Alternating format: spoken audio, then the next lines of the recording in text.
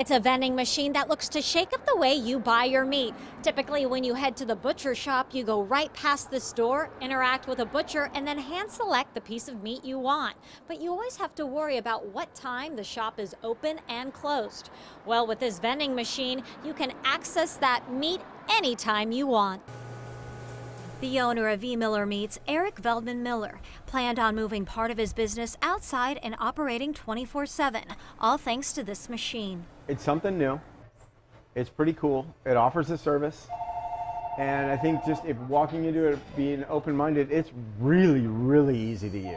Yesterday was supposed to be the vending machine's big debut, but the county pulled the plug. Officials with the county telling us the county environmental department paused the opening, pending a review, needing to make sure the machine met all requirements and standards.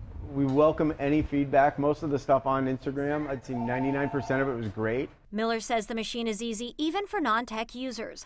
Walk up to the machine, have your card handy, select your meat, and be well on your way. The temperature control and the technology that we have built into this thing is like nothing else. It's um, it's really kind of hopefully going to change the game a little bit. Like, like you see what Nick's doing there, like big primals.